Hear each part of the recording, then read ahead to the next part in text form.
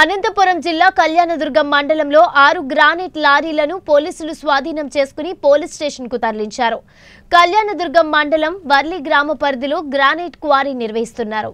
ఈ క్వారీల నుంచి ఆరు లారీలలో గ్రానైట్ బ్లాక్లను చెన్నైకి తరలిస్తుండగా రూరల్ ఎస్ఐ సుధాకర్ పట్టుకుని రికార్డులు పరిశీలించారు.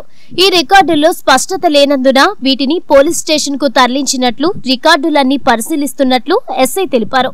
సంబంధిత యజమానిని పిలిపించి రికార్డులు పరిశీలించాల్సి ఉందని రికార్డులు నకిలీవని తేలితే కేసు నమోదు చేస్తామని ఆయన స్పష్టం చేశారు.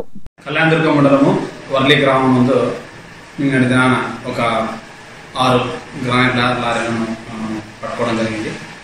వాటిని ఒకసారి రికార్డ్స్ వెరిఫై చేస్తే అన్ని ఈ బిల్స్ ఈవే బిల్స్ అవుతున్నాయి